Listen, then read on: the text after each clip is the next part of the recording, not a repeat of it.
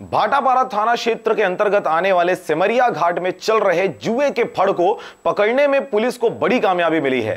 मुखबिर की सूचना पर भाटापारा पुलिस द्वारा स्पेशल टीम का गठन किया गया और दबिश देते हुए नदी के किनारे चल रहे जुए के इस फड़ पर छापामारी की कार्रवाई की गई।